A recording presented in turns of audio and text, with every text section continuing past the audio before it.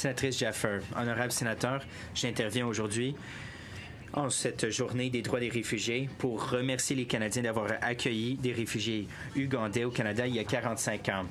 Mon père, Shirali Bandali Jaffer, a lutté pour l'indépendance de l'Uganda et ma famille, alors qu'elle était ugandaise, s'est retrouvée sans patrie. Mon père a fui l'Uganda. C'était une personne euh, qui était euh, visée. Nous avons tout perdu. Nous avons perdu nos avoirs, nous avons perdu notre demeure et nous avons surtout perdu notre pays, l'Uganda.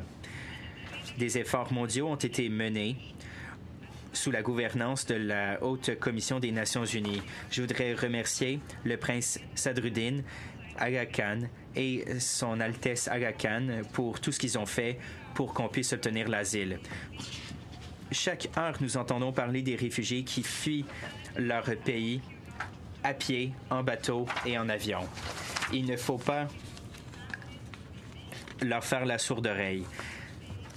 Ces personnes fuient parce qu'ils sont violés, tués dans leur propre pays. En Turquie, j'ai rencontré un père qui m'a raconté qu'il était resté en Syrie, mais quand les bombes sont tombées sur nous, je me suis dit que je devais fuir. Mes deux fils aînés ont été capturés et je ne les ai plus jamais revus. J'ai perdu mon enfant le plus jeune et ma fille aînée a perdu tous ses membres. J'étais un père de six enfants, mais maintenant la moitié de ma famille est disparue et ma fille souffre tous les jours. Je ne voulais pas fuir mon pays, mais je suis heureux de l'avoir fait pour sauver ma famille.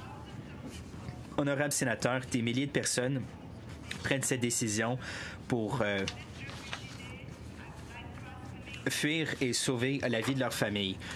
Je profite de cette journée pour rappeler aux Canadiens de continuer à faire preuve de compassion, comme ils l'ont fait il y a 45 ans quand ils ont ouvert leurs portes à ma propre famille.